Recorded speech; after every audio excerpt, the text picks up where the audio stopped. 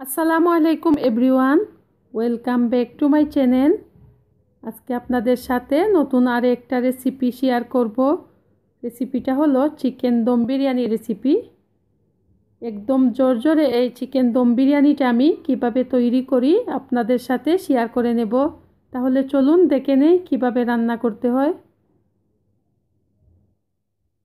একটা পাতিলের মধ্যে আমি নিয়ে নিচ্ছি চিকেনগুলো। আমি দেড় কেজি ব্রয়লার চিকেন এভাবে রেগুলার সাইজে কেটে নিলাম। দিয়ে দিচ্ছি দুই টেবিল চামচ রেডি বিরিয়ানি মশলা, দেড় টেবিল চামচ আদা পেস্ট, দেড় টেবিল চামচ রসুন পেস্ট।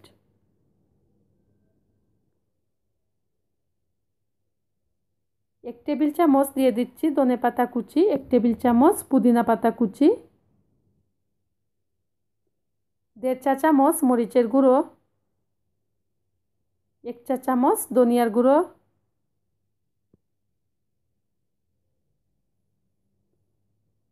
হাফ কাপ তেল দিয়ে দিলাম। এই তেলের মধ্যে আমি পেঁয়াজটাকে বেরেস্তা করে নিচ্ছি। আগে থেকে আমি তেলের মধ্যে আলুটা বেজে রাখছি। গোটা গরম মশলা দিয়ে দিলাম। সাত আটটি এলাচ, তিনটা টুকরো দারচিনি দু তিনটা তেজপাতা দিয়ে দিচ্ছি। হাফ কাপ পেঁয়াজ বেরেস্তা দিয়ে দিলাম। এক টেবিল চামচ টক দই,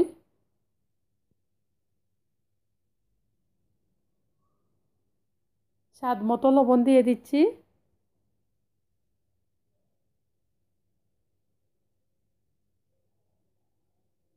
এবার হাত দিয়ে আমি মাংসটাকে ভালো করে মেখে নেব যাতে মাংসের গায়ে মশলাটা লাগে। মাখানোর পর আমি পনেরো মিনিট রেস্টে রেখে দিলাম। আপনারা চাইলে সাথে সাথেও রান্না করে নিতে পারেন। এবার আলুগুলো মাংসের সাথে দিয়ে দিচ্ছি।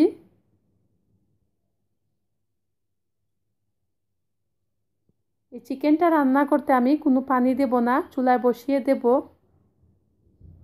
পাঁচ ছয় মিনিট পর দেখতে পাচ্ছেন চিকেন থেকে পানি উঠে আসছে, এই পানি দিয়ে আমি চিকেনটাকে সিদ্ধ করে নেব। আর এই চিকেনটা রান্না করতে পনেরো মিনিট সময় লাগছে।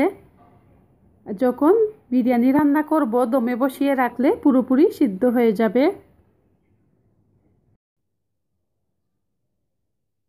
নামানোর পাঁচ মিনিট আগে দিয়ে দিচ্ছি। দুই টেবিল চামচ গুঁড়া দুধ আমি অল্প একটু পানির মধ্যে গুলে দিয়ে দিলাম।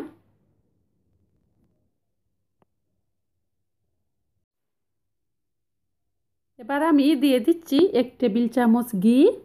গুঁড়া দুধ আর ঘিটা দেওয়ার কারণে বিরিয়ানির স্বাদটা বেড়ে যাবে। এই তো চিকেনটা হয়ে গেছে।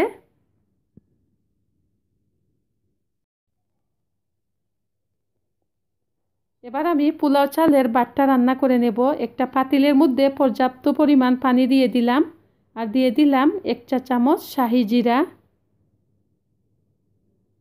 দু তিনটি তেজপাতা, সাত আটটি এলাচ, তিন চার টুকরো দারচিনি, গোলমরিচ দিয়ে দিচ্ছি। অল্প একটু তেল দিয়ে দিলাম যাতে পোলাওয়ের চালটা রান্না করার পর বাতটা জোর জোরে হয়।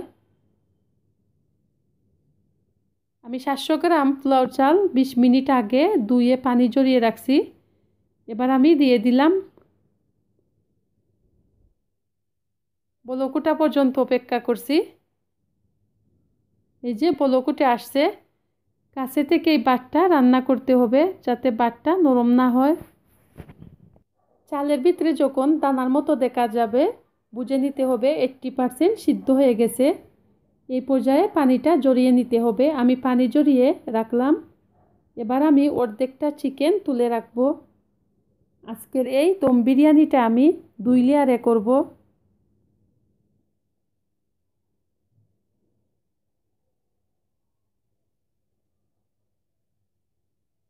পোলা চালের বাটটা গরম গরম অবস্থায় দিতে হবে। আমি অর্ধেকটা বাদ দিয়ে দিচ্ছি।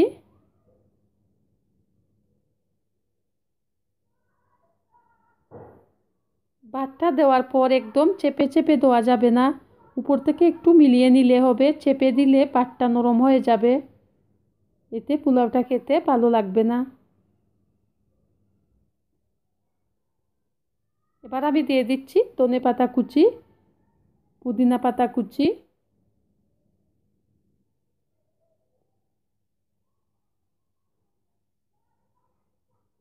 বাকি চিকেনটুকু আমি দিয়ে দিলাম।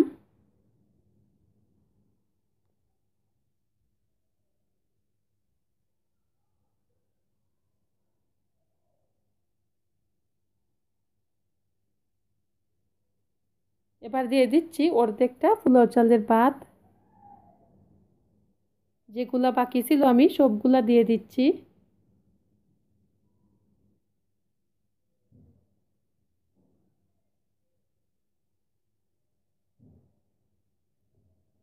দিয়ে দিলাম আরও অল্প কিছু, ধনে পাতা কুচি, পুদিনা পাতা কুচি। এই ধনে পাতা, পুদিনা পাতাটা দেওয়ার কারণে সুন্দর একটা ফ্লেভার আসে। দিয়ে দিচ্ছি চারটি আলু বোখারা। দশ পনেরোটি কিশমিশ দিয়ে দিলাম।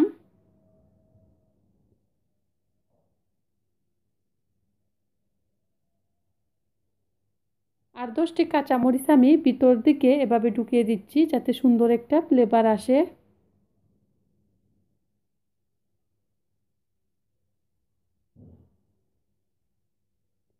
দিয়ে দিলাম অল্প একটু জর্দার রং, এটা চাইলে স্কিপ করেও যেতে পারেন। দিয়ে দিচ্ছি অল্প একটু পেঁয়াজ বেরেস্তা।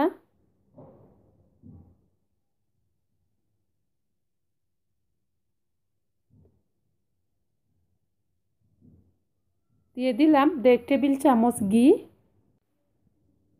এবার ভালো করে ডাকনাটা দিয়ে আমি চুলার আঁচটা একদম লো হিটে রেখে দেবো একটা লোহার তাওয়ার উপর। পনেরো মিনিট পর দেখে বুঝতে পারছেন হয়ে গেল আমার এই জোর জোরে দম বিরিয়ানি রেসিপি। আশা করি আপনাদের কাছে ভালো লাগবে। একবার হলো ট্রাই করে দেখবেন, এটা না খেলে বুঝবেন না কতটুক টেস্টি হয়। আমার এই রেসিপিটা যদি আপনাদের কাছে ভালো লাগে, প্লিজ আমার চ্যানেলটাকে সাবস্ক্রাইব করে পাশে থাকা বেল বাটনটি প্রেস করে নেবেন। লাইক দিবেন, কমেন্ট করবেন, শেয়ার করবেন। আল্লাহ হাফেজ।